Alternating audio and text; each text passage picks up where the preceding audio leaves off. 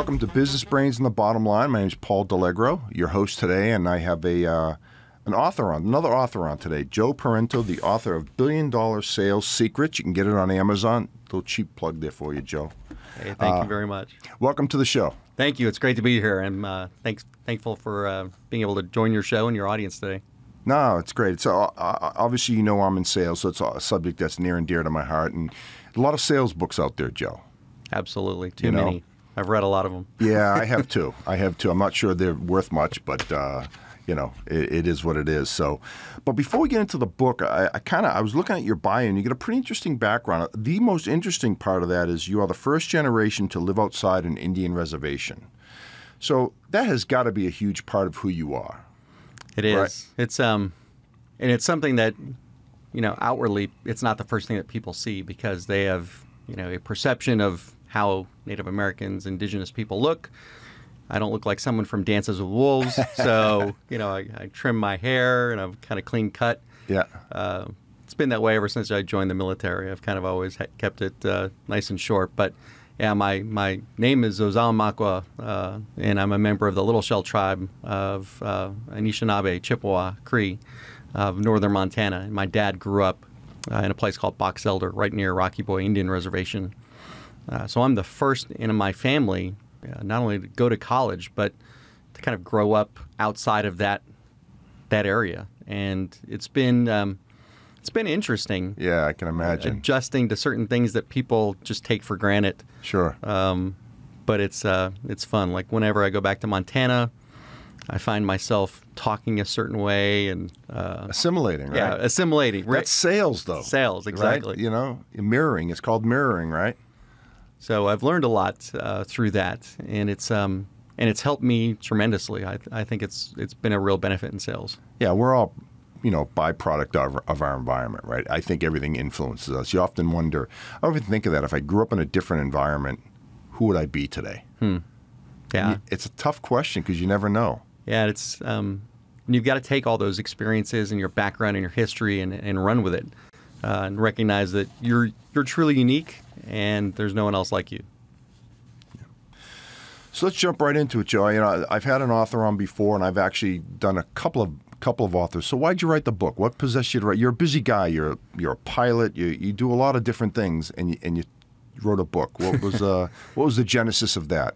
Well, in sales, as you know, you know people will say things, and you can take them and believe them. And over a period of years, I've had probably as as far back as like 15 years ago, I had somebody say, "Oh, I've never experienced someone in sales who does this like you do," and it was from a customer, and I was like, "Yeah, you're just unlucky, I guess." so you sort of just take it and you know you're you're proud, but you're you don't really believe it. And I've always been a voracious reader of every other sales book that's out there. I mean, I've read so many. I try and read, you know, one book a month, uh, just in general.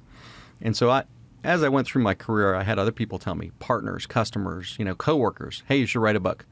It wasn't until I surpassed a goal of selling a billion dollars in a five year span that I really started to believe myself and said, maybe I know something about selling that I could offer other people. Okay. And so I set out to write the sales book that I wish existed when I started my sales career that um, that includes some stuff that uh, I've never seen in sales books before. Like, what do you do if you're successful? How do you deal with sales managers? Uh, and some other things like, you know, mindset. Right. So, any part of the process surprise you? Was it easier, harder than you thought? What uh, What do you think? I would encourage everyone to write a write a book. I think we all have stories inside of us, and the magical thing about writing a book, once I decided that I was going to do it, I just I jumped all in and said I'm gonna I'm gonna write this book. Is I sat back and you would think that it starts off with, you know, hey, it was a dark and stormy night. You know, it starts off with your story. It yeah. really doesn't because it started me thinking about who I wanted to reach from an audience standpoint.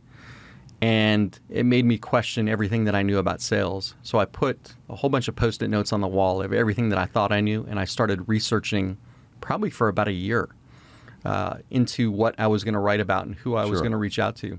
And that impacted you know what I what I produced in the book.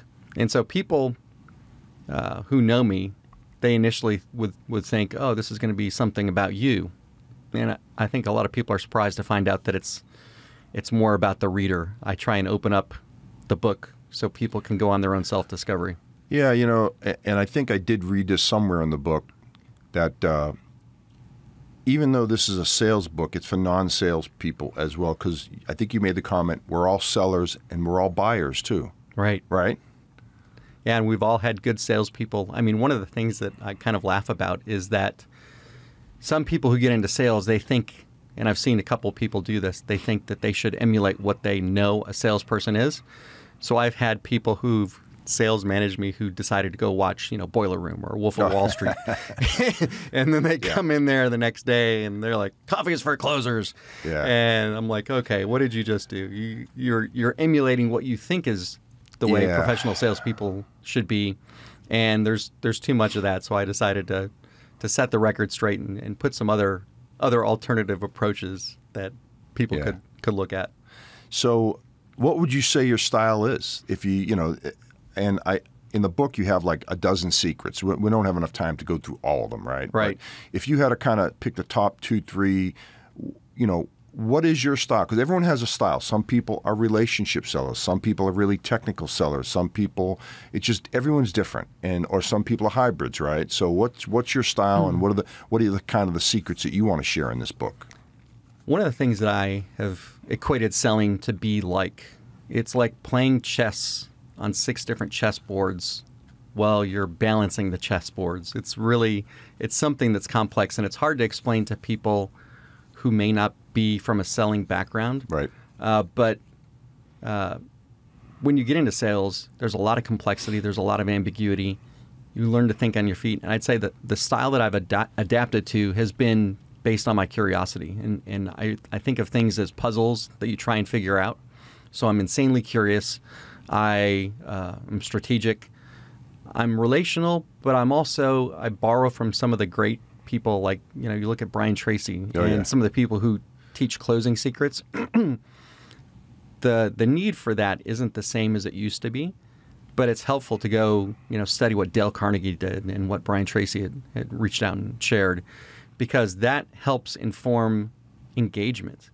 And really, what what I do is I build value with customers. I, I try and align value, and anyone who's bought or, or or sold anything, you'll realize the great salespeople in your life. You'll say, okay, that's somebody who really helped me make a decision. I was better because of that person. And conversely, we all know the people who are horrible. Yeah, it's funny you say that. You know, we have customers that you know we'll get engaged with a customer and they'll say, "I'm just sick of salespeople that just sell me stuff and run." Right, you know, so uh, you know, a you're, drive-by. you're, you're in technology sales, as am I. So if you just sell stuff and run, you're not going to last very long at that customer. If you can't add value and help them design and architect a solution that's going to work today and be scalable in the future, you're going to be in trouble. I always tell people selling is something we do with others, not Yeah. to them. Right. Yeah, that's a good point. Because it is, it is. We always tell people, you know, we're part of your team. Once we get engaged, once we build that trust, we become part of your team. We're an extension. We're sitting in on staff meetings. We're helping you, you know, discuss solutions that are going to help you the whole bit, not just you know sell stuff and you know call us when you need us. And one of my first mentors in sales, her name was Lorraine. I am an accidental salesperson. I wanted to be in politics, and I thought I was going to be in PR. I had gone for an interview Yeah. in Portland, Oregon, with the mayor at the time. Her name was Vera Katz, and I walked into the office. Her and her aides were barefoot.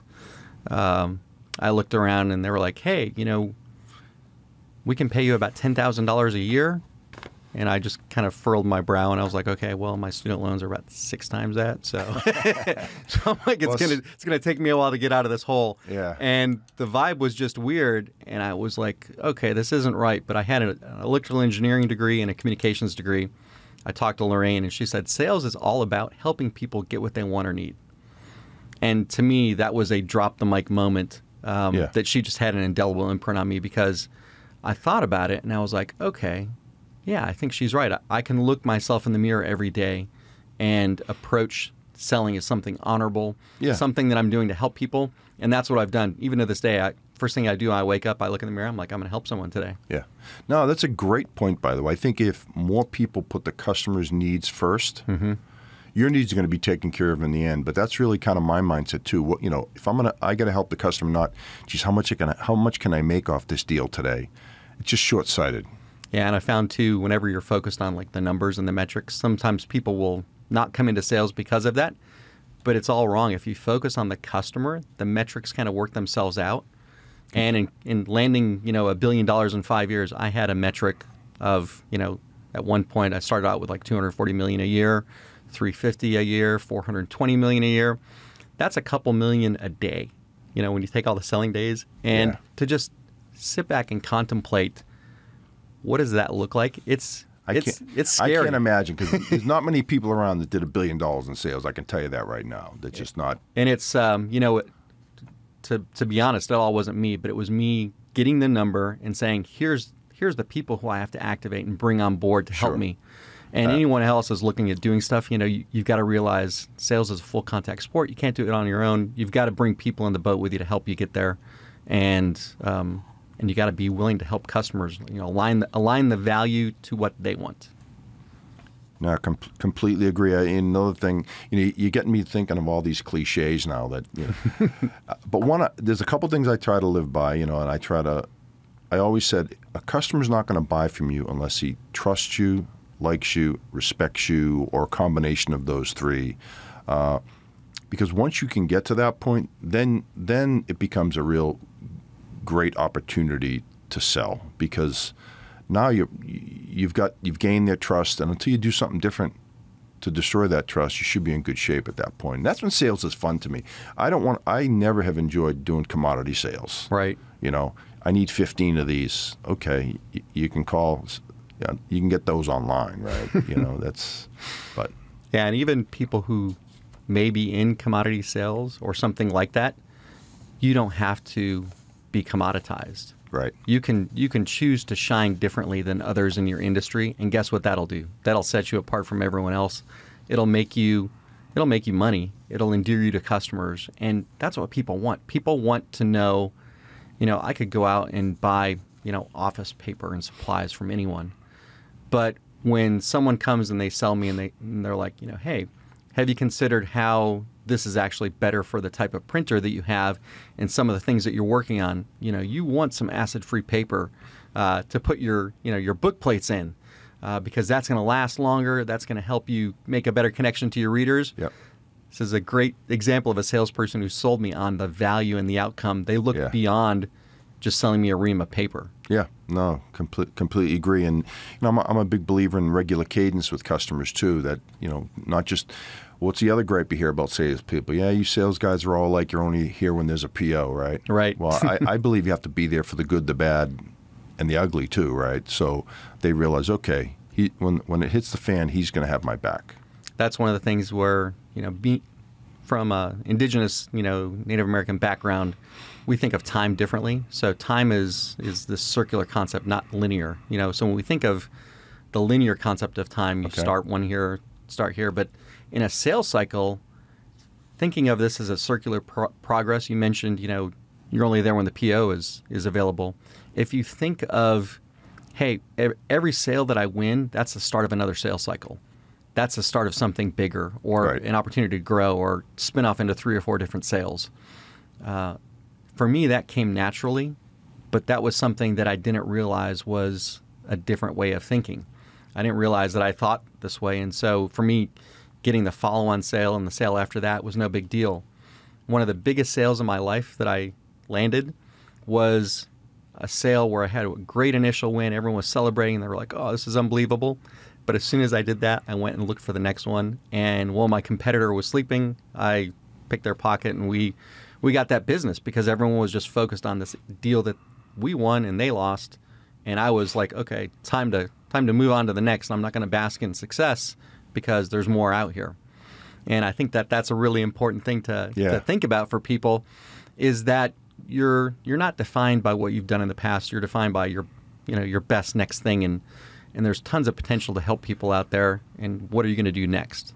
Yeah, no, completely agree. It's especially in sales, right? You know, it's a it's a monthly, quarterly driven business, and you could break world records last quarter. It's okay. It's a new quarter. What have you done? Right. What have you That's- done for me lately? That's It's just the nature of the beast. It's it's not for everybody. As you, Right. some I know some people that have jumped into it and got back out. They're like, I, I don't have the stomach for this. I can't take the pressure every you know every week, every day pipeline calls and qu- quarterly business reviews and all that other stuff. Yeah, I love it because if you like having a role where things change every day and there's opportunities to learn something every day, there's opportunities to travel, meet meet new people, solve problems, it's a great profession and I a lot of people overlook it and they they really, you know, uh, to their detriment. Yeah, and that's the reason why I got in too. By the way, I, I wanted I wanted the freedom to kind of do what I do what I wanted to do. Right, so you can run your business however you want, really. Right, and so I, I like the flexibility of being able to work from home, work on the road, go visit customers. Versus I was never I was never going to be a nine to five guy. I knew that early on in my career. Right. You know, so Well, it's one of the, you know, when you look at the Fortune 500 and the CEOs, like 75% of them have been in sales roles in the past because it provides you that, that real broad understanding of a company to help solve problems and diagnose and, and correct and fix. Okay. So, like I said, in, in your book, you have like a, a ton of these secrets. Mm-hmm. We'll call them secrets. Um, so let's dive into a few of those. I mean, what what are your what are you, I'm looking at the list right now. Uh, what are the ones you want to talk about? Wh- Which ones are the, the top secrets that, that you're going to share just here today with our audience? Yeah, there's a couple that make the uh, the book interesting. Like I said, this is something I wish I would have read. Um, the uh, the one that a lot of people gravitate toward is sales managers suck. They Yeah, I- honestly, that was one I was hoping you'd bring up. Right, I was going to let you talk about. That. That's a good one. Okay, let's. But uh, but yeah, in a sales book, I've never read about the seller relationship with their managers and their and their and their chain of leaders. But uh, a lot of people will gripe about their leaders, and and some people will be like, you know, I've got the best leaders around. The important part is, as a sales professional, think about these relationships the same way you would customer relationships. A lot of people who are complaining, oh, my sales manager is horrible. Well, have you taken the time to plan for your sales engagements with that manager? Have you taken the time to prep, to come with insights, to offer something to help them out the same way you would your customers?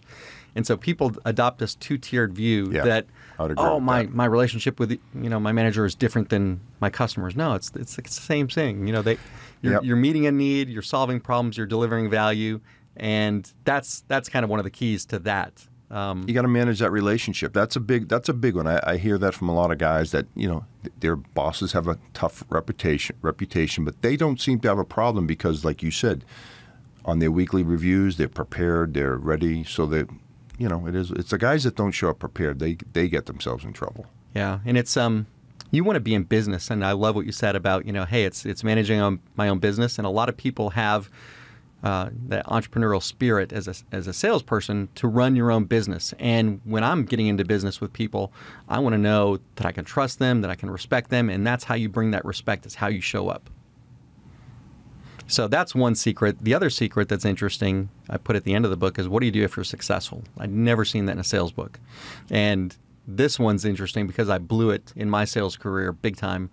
Whenever you get that taste of success, uh, you know, what do you do? Well, I know what I did. I went out and just blew all my money. Yeah, I was going to say, bought a boat, and started buying and- cars and you know vacation homes and all this stuff. Everyone's done that once in their life, though. Anyone who's made any money, especially guys like you. I grew up in a poor Italian family. Right. We had no money, so when I started making money, I did some things. It's like you did too. I mean, just nat. I think that's natural. Why do you think these pro athletes get themselves in trouble? That's exactly. Yeah, I've got a Right. have got a couple pro athletes I know, and the same thing. And and it's uh, that's why I also put some mindset stuff in here because uh, it's proven that when you're poor and you grow up with not a lot, you envision money to be bigger than it is. I mean, you your concept of money when poor kids are asked to draw, hey, draw some money for me. They draw these huge dollar bills and huge coins, and the rich kids, it looks like chicken feed. You know, it's like little tiny things on a sheet of paper, and you're like, what's that? Oh, that's money. You know. Yeah, And it was always there. yeah, it's always there, but it's it's that you know it's stuck in your head, and you either. I talk about the you know the abundance and the scarcity mindsets, and I, I kind of got this from you know uh, Rich Dad Poor Dad, you know Robert Kiyosaki, great Yep. book, but huge mindset shifter because you start thinking in these ways and you're constrained by that, or you're liberated by it, and Yeah, you can put a lot of limiting factors you th- on yourself. Mm-hmm. You know, hey, I, I, You know, I'm not good enough. I'm not smart enough. I'm not educated enough. I, you know, I, Why would they ever buy from me? Right. Yeah. Yep. Or, or the CEO will never meet with me. Well, guess what? they might actually want to meet with you. Yeah. You might be the person that has a you know innovative idea that's going to help their company. So you talk about uh, in your book sellers for non-sellers. That's another thing that was kind of an interesting topic to me. Is um, you know, I hear people say, oh, "I'm not a salesperson," but the reality is we're all salespeople, We are. Right? I mean, and we're all buyers and sellers. So talk about that a little bit. That that mentality. Yeah, it's like, hey, where do you want to go for lunch? Guess what? You're in a sales sales call right there. Right. You know, or what movie do we want to see? Or where do we want to go on vacation? We're always selling, and then everyone has been in this position. Why should we hire you? Uh, and then if you you know are successful in business, you want to start your own business. Why should we lend to you? You know, you're coming here to get VC money. Why do we want to back you? You're selling. There's there you're selling, and it sales is just an essential skill that everyone needs Yep. something. And we don't teach it enough uh, in school. Nobody goes through high school learning how to sell. But guess what? You're going to have to sell in your life. Um, someone wants to, uh, you know, they want to close the deal with a, a young lady or, or a guy. You know, if you're a guy, you got to get down on one knee and close the deal and, Yeah. and, and say, Will you marry, marry me? And, That's right. and you're selling. You know, Yeah. so we all sell. Uh, some people do it better than others, but we could all use, you know, a skills refresher on how to get better. That that's I am surprised they don't have more like official college programs around selling. Another thing unrelated to selling, but they don't teach finance courses like basic finance about how to invest. I agree. That time value of money, right? You know, no one ever told me until I started I got to get a little older. I'm like, wait a sec. If I put this much away for the next 40 years, this is how much I'm going to have. You know, where do I sign up for that? You know, just very some basic stuff. No one teaches it. One of the things I was so encouraged by is there are colleges today that have selling programs as part of their marketing curriculum and they do sales competitions. This was foreign to me for about a year ago. And when I was writing the book, I, I got in contact with some of these schools and they're like, you know, um, Illinois, um, Northern Arizona University. They're, they're somewhat of the smaller schools, Southern University, uh, who have these sales competition programs. But they're great because college students get to actually go and present in front of judges. Uh, and I mean, what a great experience to go through college. For me, when I went through college, I got to do academic debate. Okay. So again, same type of thing. If- Selling, yeah, If you- you ever get a chance to do any of these things, do them because they'll be the best courses that prepare you for the future. And I don't care what you're planning to do; those things are going to help you. Yeah, you know, um, you're touching on something that I've, I've told my kids is you know public speaking, one of people's biggest fears, and I, I said to them, you've got to get out of your comfort zone a little bit because you're going to find it's not as bad as you think it is, and it's going to open up more opportunities for you. Right. And one of the things I'll, I'll give you a nugget that I haven't shared anywhere is as a communication major, I put a whole chapter in there about giving presentations and what happens when you connect with people. What's really interesting is that there's a lot that happens when you first meet people. And don't take those moments for granted because they're super important. Uh, you have three seconds to make a first impression or less.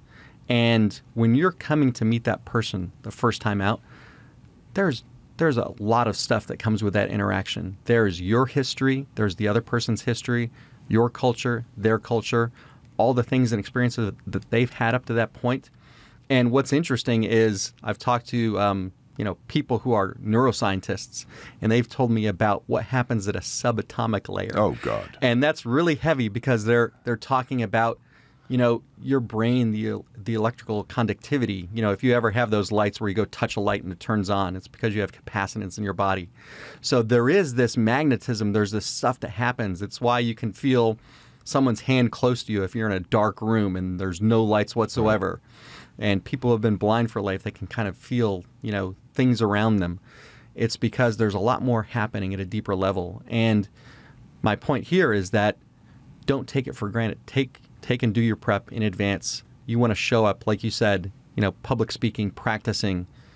Uh, sometimes you'll practice something for hours and hours before you actually have the presentation. You know, everyone who's given a sales pitch has known that this Yep. feeling where you're walking around and you're going, Furthermore, I'd like to share why we're the best solution for you. Yeah, how- and I know, and I know you've done this because we all have. How many times you've been in a hotel room the night before, going through, walking in your room with your clicker, Yep. going through the PowerPoint, going over and over, you know, big presentation. I, uh, I don't know. I, I would think every sales guy's done that at least once in their life. right? Absolutely, and it's those are those are the things that are great about because you learn more in the process.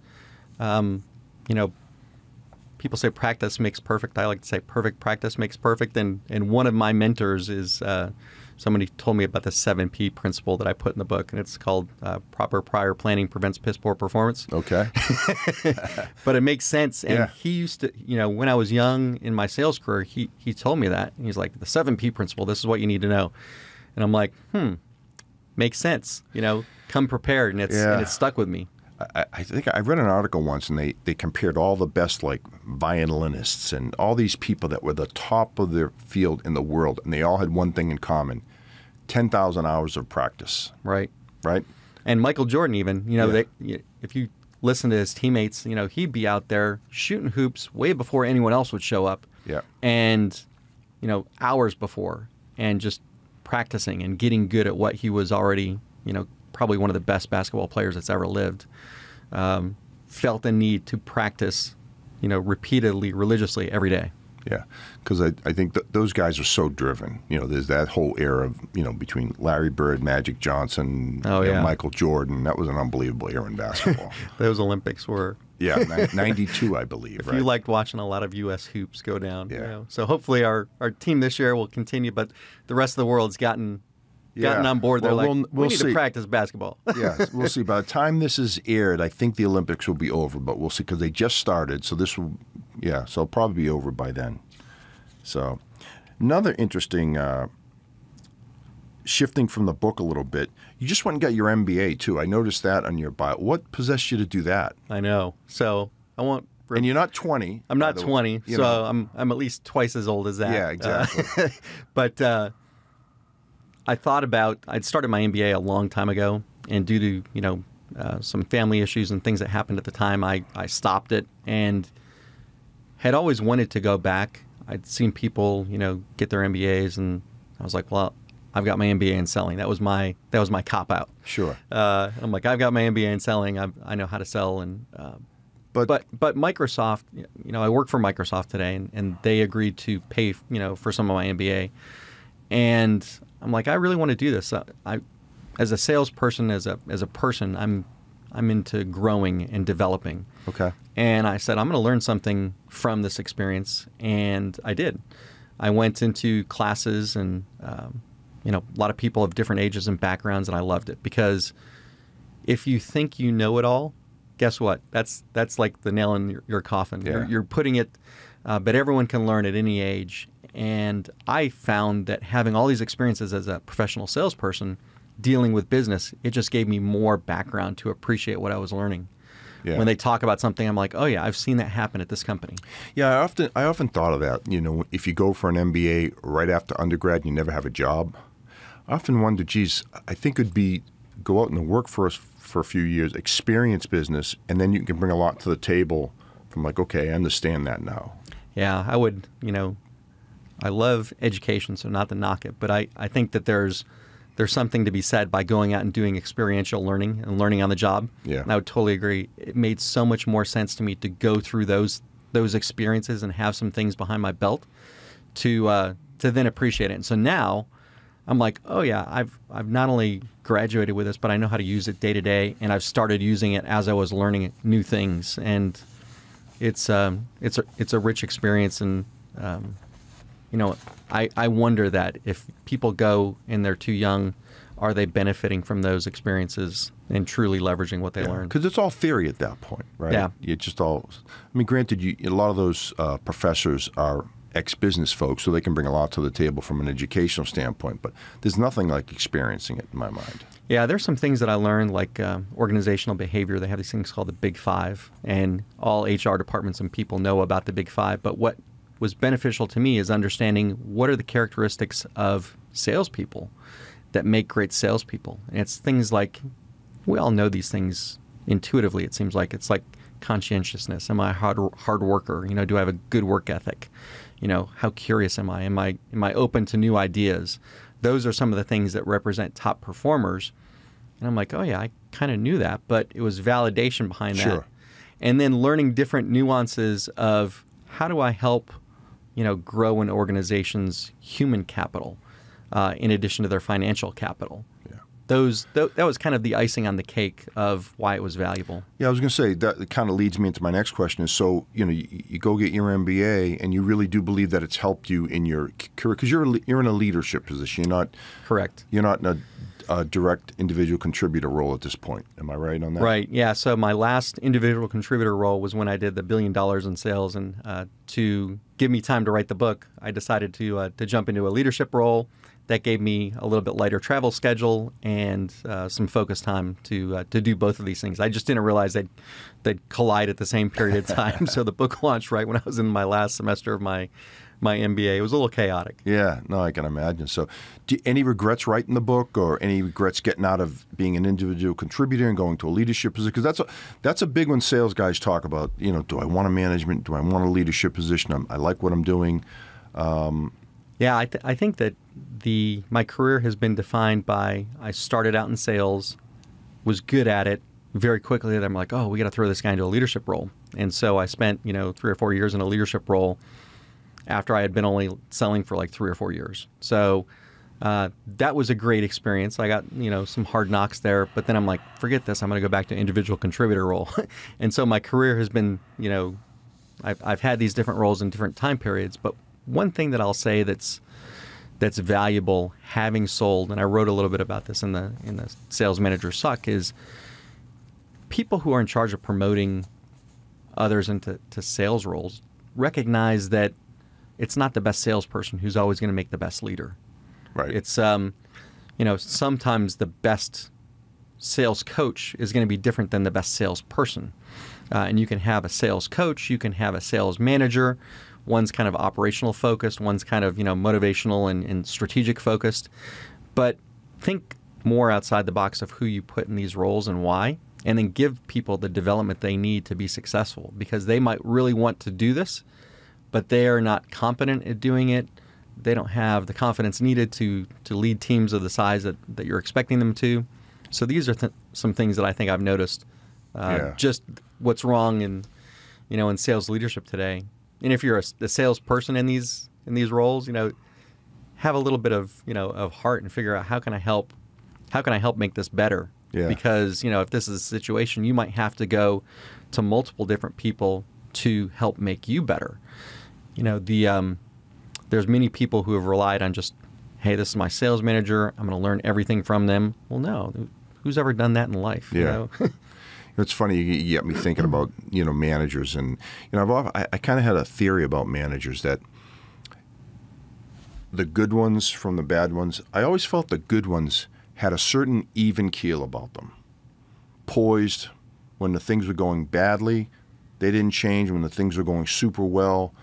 Still the same, and they, they kind of trusted their style, trust trusted their their uh, you know their techniques and how to motivate, empower, educate, all that stuff.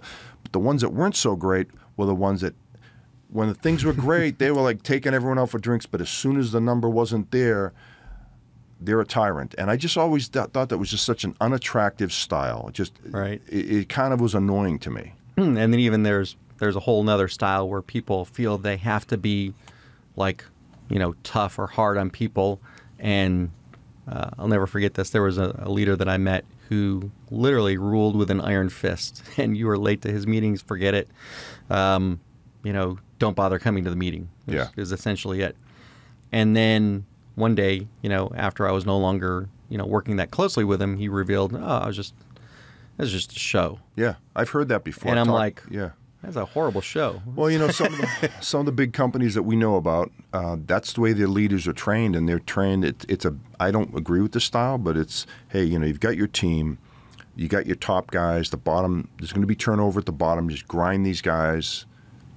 They're going to quit, or you're going to fire them in, in two years, a year. Just get someone new in there. I've never agreed with Yeah. that style. I, I think it's just a, you're wasting a lot of time and effort and money trying to rehire and retrain Yep. versus, versus try to bring those guys up. But And I was in the military, so I know what that you know, you know, what a what a directive style of leadership looks like. Because there's times in the military when they're like, "Hey, we're going to be directive and give you an order, and, and you follow the order, and if you don't, we're sending you to Leavenworth." You know, Sure. failure to obey a lawful order. Yeah. You know, so. Um, but what's interesting is they don't see the other side, so people tend to think, "Oh, I'm going to be like a military general, or you know, whatever," and that's how I'm going to lead. But when I was in the Air Force, I learned some great servant leadership principles from people who were still great mentors to me to this day. Really? And they said, you know, hey, what we do around the holidays is we serve. So, you know, put this apron on. We're going to go into the mess hall and we're going to cook dinner. We're going to wash the dishes. We're going to serve people.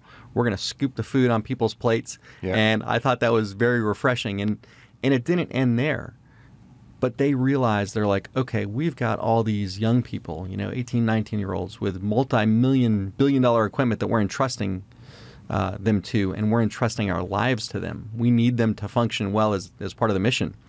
So we need to make sure that they feel valued, trusted, Yeah. you know, appreciated. And so these little things of just like, you know, hey, I really want to thank you for what you did there. Uh, that was great. Thanks for putting in the extra hours. I, I, I appreciate what you're doing. There's so many people Yeah, who don't pat- don't little- do enough of that yeah, a little pat in the back goes a long way, right? goes a long way and it's um it's something i learned in the military early on people who have this you know this this autocratic style leadership they probably never realize that in the military works a lot like that because Yeah. it, it's it's a band of brothers and sisters and it's trust it's letting you know that you can you know you can trust your life with someone else But you know what's funny to me, Joe, is this still guy with all the information that's out there, with in in in, the, in with social media and everything, all the information that's out there. You would think guys would learn, like you know, being a militant leader, it has never worked. Not Right. not in sales. I mean, like you said, there's a time when you have to be hard, if you're going to do this day in day out and just grind grinding people, people are just going to quit. Yeah, and now there's like you know there's tremendous amount of places people can go. I mean, everyone you just look around, everyone's got a job. You know, Yep. we're hiring sign um, Yeah. staked out there. So Yeah, not not to get generational too, but I think our generation was of the old school of hey, you got to suck it up, you got to do your time. Well, this younger generation, and I think it's some good about it, is that they won't tolerate that. Yeah, I love it. It's You know, I kind of I kind of tip my cap to them. I, I go, I wish I had I had I wish I knew what you know you guys know because th- if they're not happy, they're just going to leave. yeah, and one thing that you know for for seasoned sellers, uh, find some people you can mentor in sales because guess what, you're going to learn a ton from them. I mean, the way that we're selling digitally. Um, socially, you know, social selling is changing the whole fabric of sales. And Yeah. you know, seasoned salespeople can learn from junior salespeople. Junior sales, it it benefits both both people. Yep. Hey, I'm in that category that I, I just learned something. I just came when I, I released a podcast today on social selling. Oh, it's great. my guest was uh, she's a social selling expert, and actually, you know, uh, she was actually my coach for a while. So I learned a lot. So I, I'm trying to adapt to the times too. So I'm doing a lot of uh, the statistic that I heard was 60, 67 percent of all technology buyers will go three to five times to social media to look for content before they will call a rep. So if you're out there socially selling and getting your name out there, hopefully you're creating a brand for yourself, and that's the one thing I took away from that. That was a stunning statistic to me. Yeah, there's um. So I actually did, like I said, when writing the book, I went and uh, I did a lot of research, and some of the research I came across was um, the way that people buy today. Okay. And so these neuroscientists actually researched what goes on in people's brains. They connected, you know, EEGs, and they got brainwave activity. What do people do when they when they're going through a buying cycle? And what was staggering about that, like you said, is not only do you know 68% of the people go to these multiple touches, but it's like 80% of the people have been further along in the sales cycle than the seller ever realizes because they've gotten tons of information, they've researched websites, so they're at a point now where they're conceptualizing value way before the seller has ever had a first hello. Right. So Yep. when they're when they're calling you in and you're like, "Hey, I want to tell you about what we can do for your company." No, forget that because that's not a good approach. Uh, this person's already you have to catch up to where they're Sure. at, and so you have to you have to be a little bit of you know leading the witness and say, you know, hey, very nice to meet you. You know, tell me a little bit about you know, you know what you're doing in this project or this initiative. Here's what I know about you. Here's something that I can add a value, but you have to map where they're at because Yeah. they're so so much further ahead of you already. Yeah. And if you just come in and uh, unload on them, Sure. you know, it's it's, It's, a, bet. delicate balance, right? I mean, you, just to go in and say, you know, you've got to do everything different than you're doing it today is not going to go. Correct. Yeah. It's- telling them their baby's ugly is never a good strategy. it's not a good strategy. Until you're ingrained in the account, and then you've earned that credibility where you can say, "Hey, I'm gonna, I'm gonna have to put a timeout on this. Really, what you're doing doesn't make any sense." Yeah. But you've earned it at that point.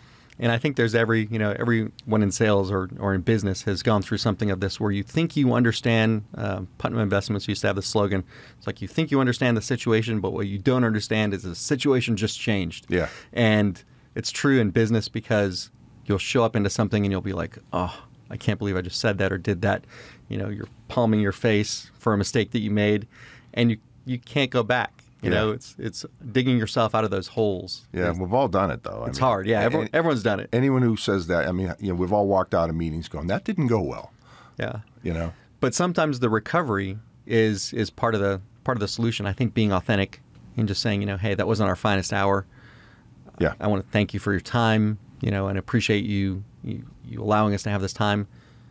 Would love to have uh, share some things that I think resonate more, whether you choose us or not, and then continuing through. Even if they don't pick you, I've had so many sales that have happened because I've sold after I've lost Yes. and Big one. you know I- totally golden thing that i never learned about because you can have someone say oh we've lost this thing and guess what the bigger deal is something that you don't even know about Yeah. It's like uh, it's like the titanic hitting the iceberg you might have seen this one deal above the water and below the waterline there's a whole lot going on Yeah, I think I think that's a really good point. I think customers will respect you if you you know you come in with your head high and you leave with your head high, right? Thank you for the opportunity. Yep. No sour grapes, and anything you know if any can help them in some way, they go like, wow, that guy, you know, and you know it's that's why selling is so mental it's because you have to you have to be impervious to no when somebody says no or or what they're saying you have to have emotional intelligence enough to discern what they mean.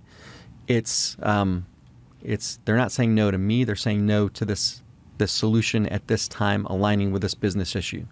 But it's not no for the entire company. Right. this is one person in the company. They can't speak for you know everything that this company is going to do in their future. So you have to you have to have at least enough wherewithal to know that hey, the you know this they're just saying no right now, and tomorrow's a new day, and there's someone else I can meet in the same company who might say yes, or this might be a good fit.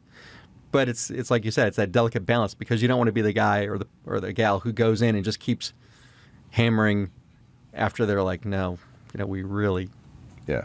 this is like the fiftieth no. and that's, you know? that's, that's definitely a skill, knowing when to back off and when to engage, and you know, it's a tough one. I we all struggle with that one. I think. but I think part of it is you know mapping out and having a having an approach, having a plan to to what your business is going to do, and and if you believe wholeheartedly, uh, and this is you know I remember when the Challenger Sale came out, my boss put me in. He was like, oh, I think you know they did this research on sellers, and I was one of the researchees, and so I got to do this whole question on on on being a Challenger seller, but you know part of that is not being challenging but it's knowing and having enough passion in what you're doing. Yep.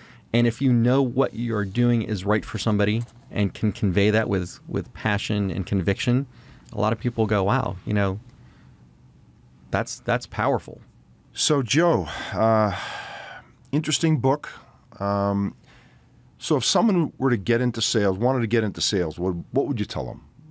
21 year old kid out of college comes to you and says, Joe, you've had a successful career. You know, do you think it's worth getting into? What do you, what do you tell them? I'd say hang on for the ride of your life. And then I'd and then I'd say, really, you don't know what a great career this is going to be for you because there's so many things. You know, I've, started a couple businesses in real estate.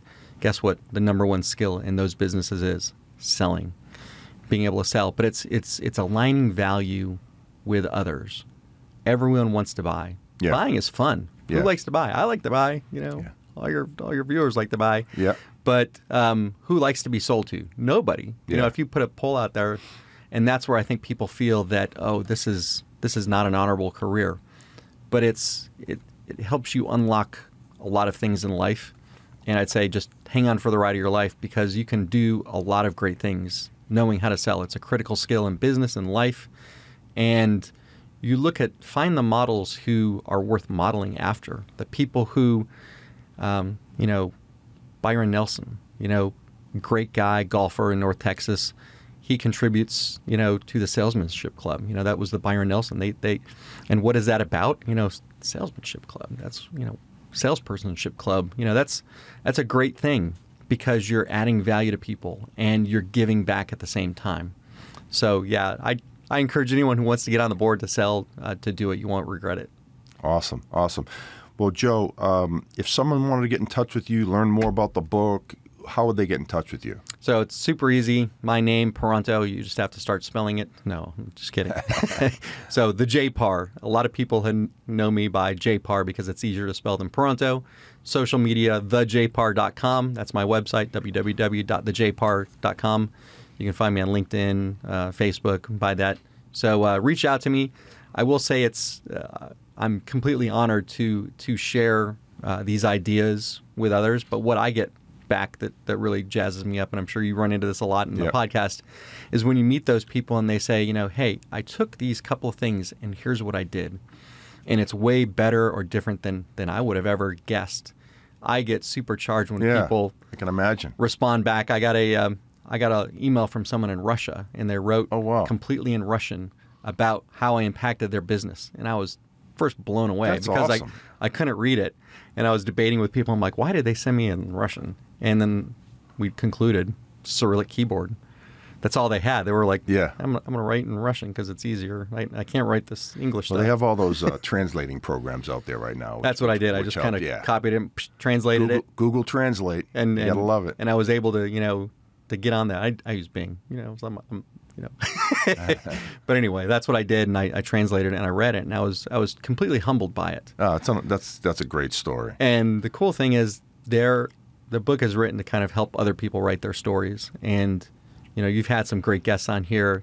Uh, I encourage people to continue watching the podcast because you have some tremendous things, things that I've learned from people where I'm just smiling, and uh, I'm I'm happy that I got to know you how I got to, to meet you was was through networking. Yeah, really and, was. And you know that's a sales skill. Yeah. So uh, so yeah so. Yeah, no, well, thanks for and and that's kind of the re- reasons on the show. I've had a, I, I don't I don't stick to one topic. I wanted to have a wide variety. I don't have guys like you on. I wanted to have technology folks on, personal interest stories. It's just been a fun ride, and uh, I'm learning a lot too. You know, it's it's and like I said, learning is always fun. So yeah, I love it, and uh, you know, really appreciate it. I, I will say that you know, uh, connecting with you is really uh, refreshing, you know, other salespeople, but just talking about what it's like to go through this, that you know, this world together. Yeah. And oh. You know, I think a lot of people right now, sales is what's going to help our economy uh, get back and rebound, and and you know, it's it, it's going to be tough for some people for a while. I mean, we have got some inflation and some things yeah. going on, but. Uh, we always nothing, bounce back. Nothing happens until a sale. That's right. I think it was Thomas Watson, or I don't know who claimed it. Yeah, it's one of those guys. Yeah. One of those guys who who did that, but it's true. You know, it fuels everything. Okay. Well, I'll close with billion dollar dollar sales secrets. Joe Paranteau. You can buy this on Amazon. I encourage everyone to read it. It's a great book. I really enjoyed it. And uh, Joe, again, thanks for being on the show. And that's a wrap of Business Brains and the Bottom Line. Until next time.